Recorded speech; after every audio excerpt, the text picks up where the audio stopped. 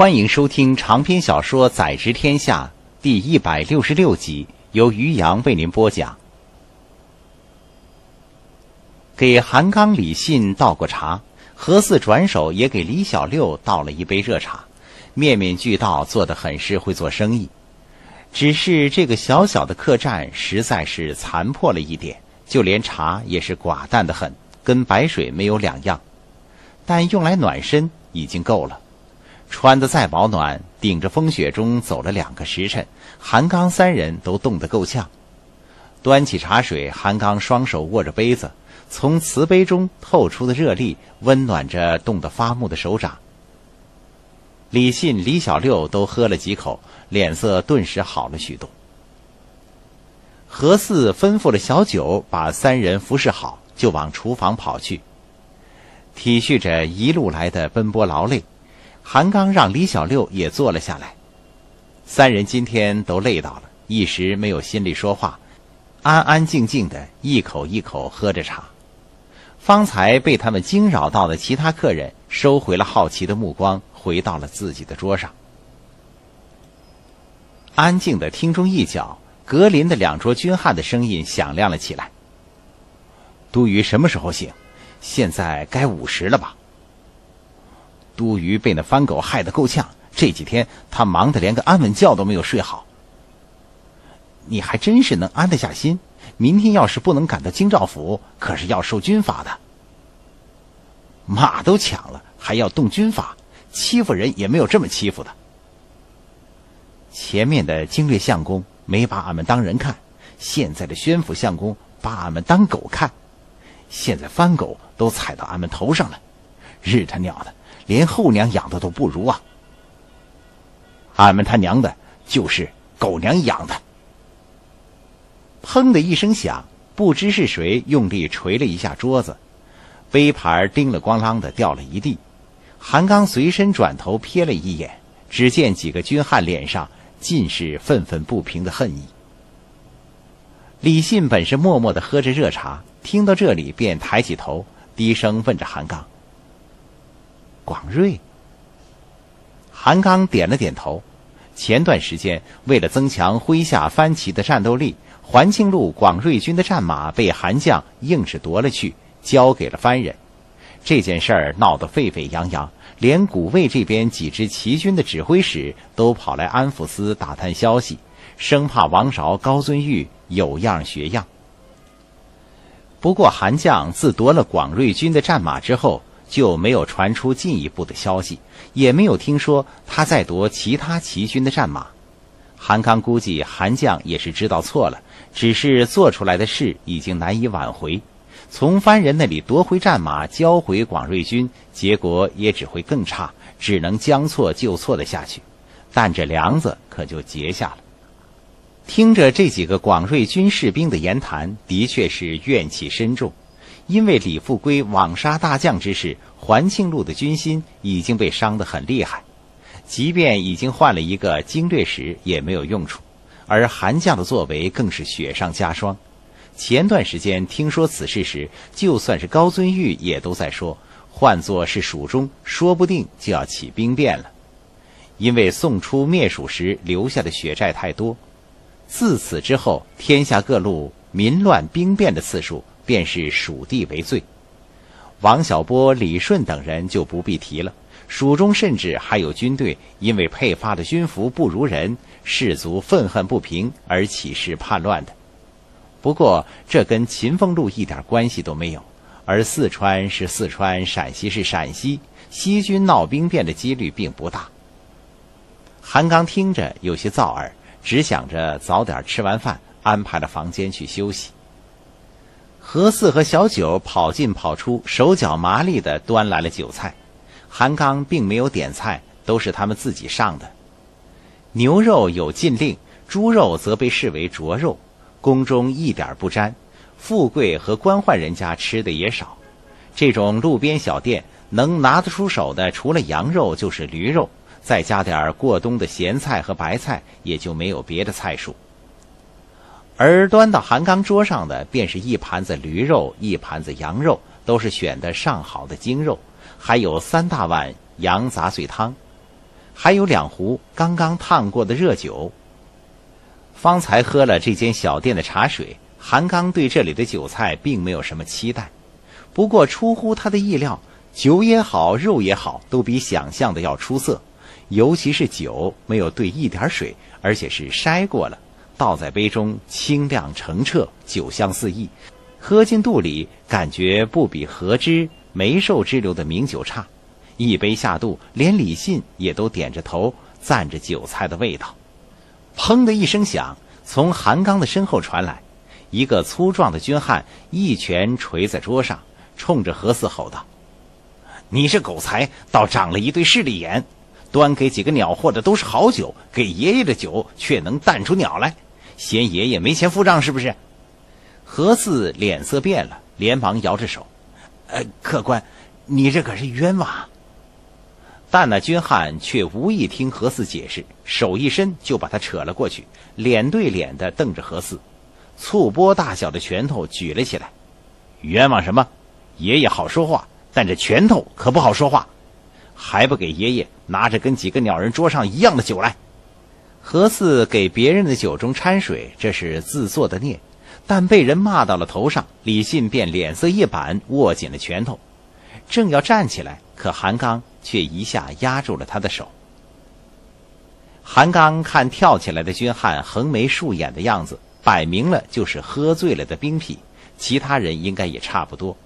前面他们还都坐在一起抱怨，若是跟他们起了冲突，他们秉着同仇敌忾之气一起上来动手，不是不可能。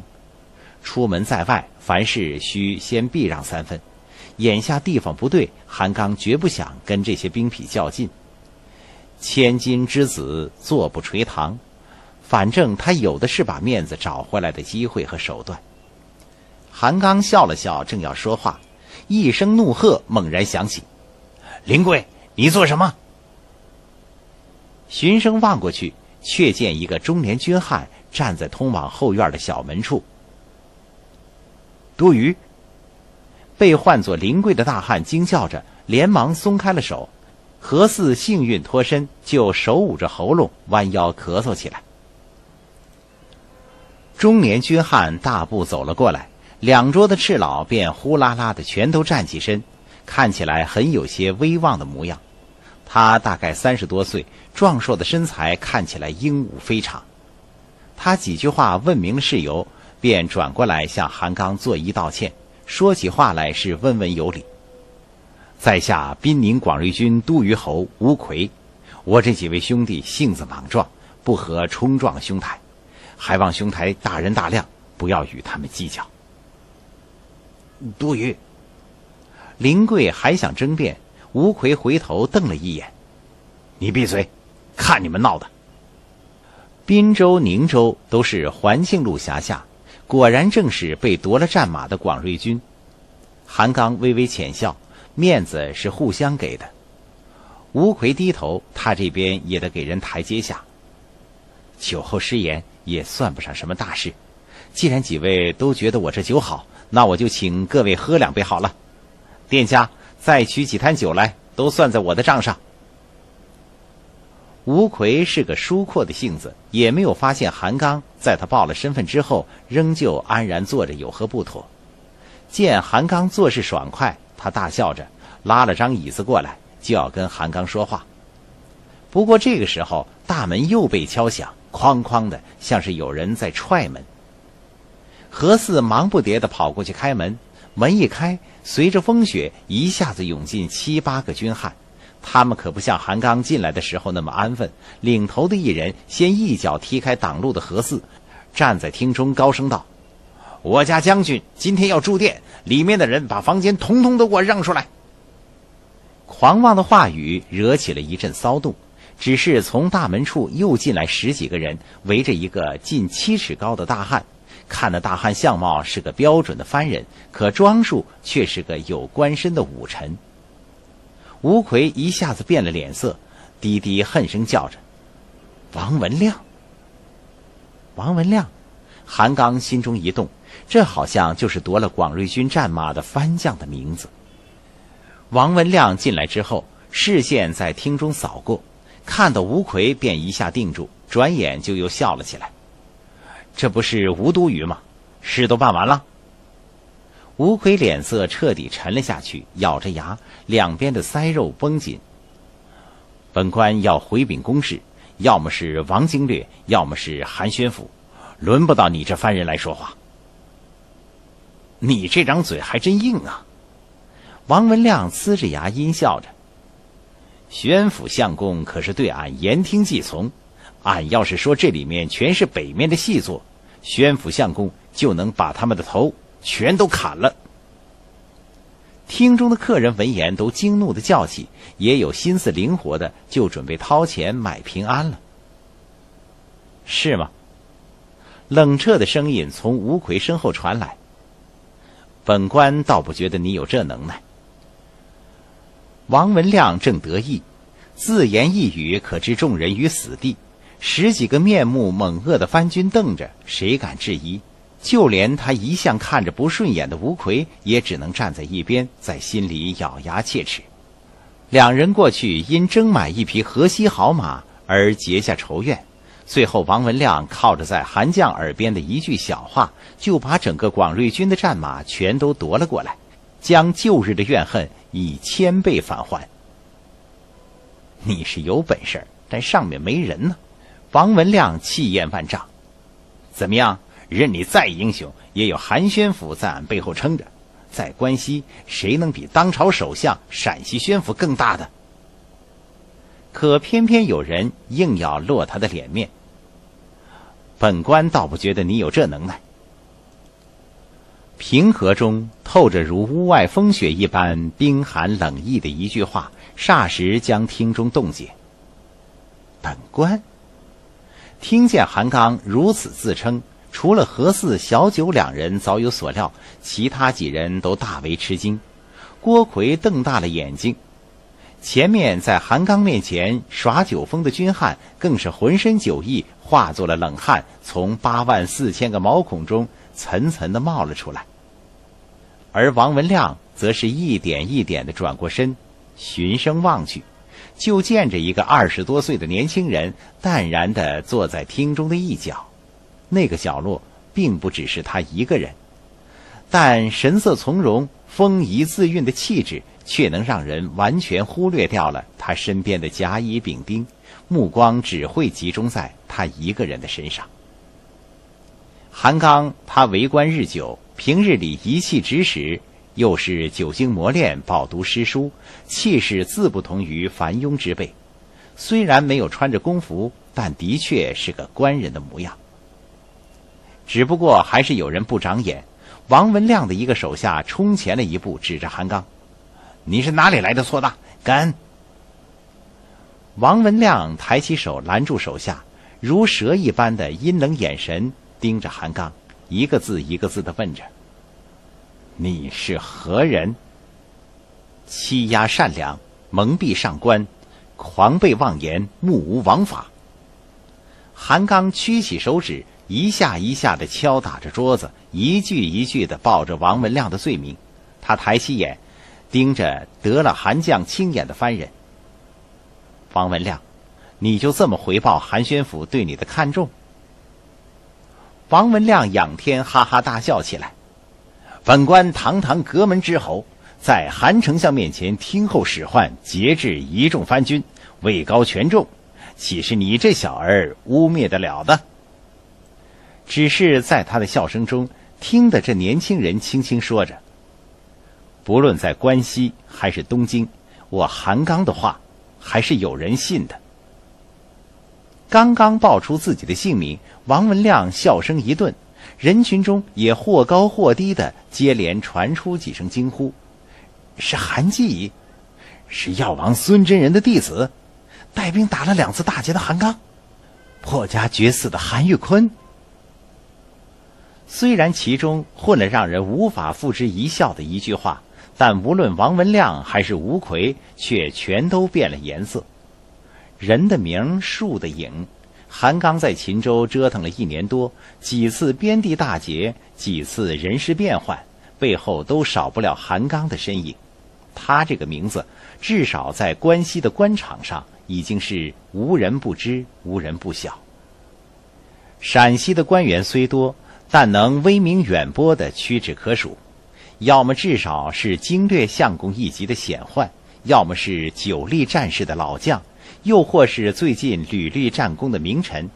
眼下能例外的就只有韩刚一人。据王文亮所知，连韩将、从鄂、赵燮的嘴里都提过这个名字，而吴奎也是听说，在庆州的白虎节堂中看到的新制沙盘，就是由眼前这个年轻人所发明。何四一开始看韩刚，觉得他太年轻，官品不可能高，但现在韩刚的身份暴露。官品的确不高，但地位和名望却是一等一的。他紧张的开始回想韩刚进来后，他有没有失礼的地方，生怕得罪了这个有名的官人。哈，原来是大名鼎鼎的韩玉坤，你好好的原边安抚司不待，好端端的从秦凤路跑来关中，到底是为了什么？王文亮终究不敢再放狂言，只能把官威收起来。拿门户之别来堵韩刚的嘴，虽然说的理直气壮，但面前这个从任何地方让人看不顺眼的年轻人，他仅仅是静静的坐着，眼神沉甸甸的几近千钧，就已经翻江倒海的把王文亮心中的虚怯全都翻了出来，更无力去怀疑韩刚的身份。韩刚盯着王文亮。韩刚虽是在秦凤任官。管不到陕西宣抚司中，但王革职方才说的那番话，韩刚却不能听之任之。本官一时口误，当会到韩宣府那里自请责罚。韩吉，你看这样如何？王文亮双眼轻轻眯了起来，微垂下来的眼睑遮不住眼神里透出的凶芒。韩刚向来感应敏锐，见到王文亮的样子，他心中一动。心道：“这厮该不会想铤而走险吧？”也就在这个时候，李信有意无意地侧了侧身子，右手也搭到了放着刀的桌上，随时可以抽出刀挡在韩刚身前。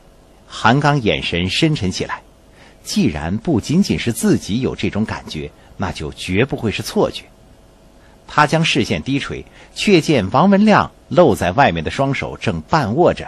青筋根根凸起，看起来虽然尚在犹豫间，但怕是转眼就要发作了。不能再等。他摇头一叹，突然上前几步，把王文亮扯住，趁他惊讶的尚未反应过来，就生拉硬拽着他到了自己的桌边坐下，招呼了吴奎坐过来。韩刚又朝李信使了个眼色，李信与韩刚甚有默契，也扯过一张凳子坐了下来。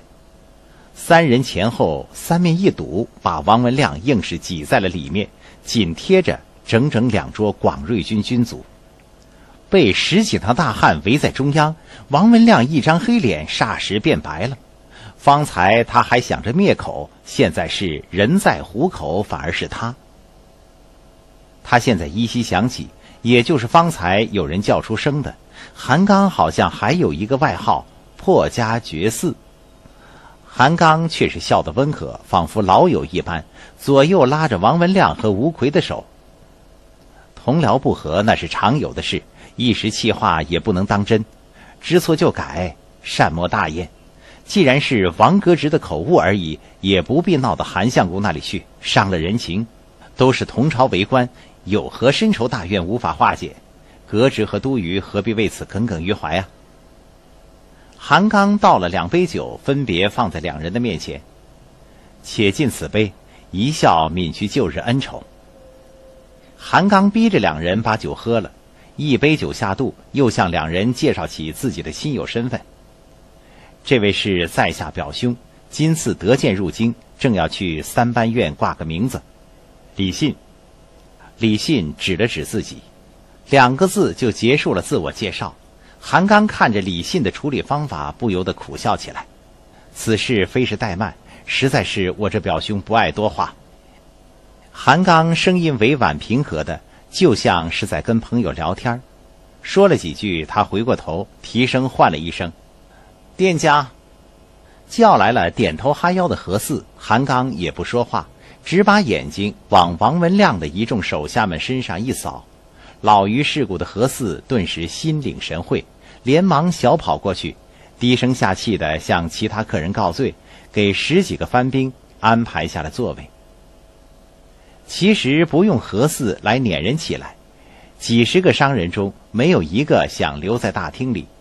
纵然现在风雪漫天，但仍至少有三分之一选择了冒雪上路，其他人也被小九带着躲到了里面去了。这一票人在江湖上奔波多年，因为身份的缘故，见识的人物多不胜数，眼力实践皆过常人。王文亮方才动了杀机，有不少人都感觉到了。有了这个认识，再看韩刚把王文亮和吴奎两个明显有仇的对手硬拉着坐在了一张桌上，不知什么时候这里就会化为修罗场。暴风雪纵然可怕。但待在这间小客店里也是一样的危险，许多人心里都在想着，大不了再走十里八里，不信找不到一间能让人安心住下的地方。屋外传来风雪交加之外的声音，没有王文亮亲口下令，他手下的番人不会聪明到拦截跑掉的商人。可王文亮现在怎么下令呢？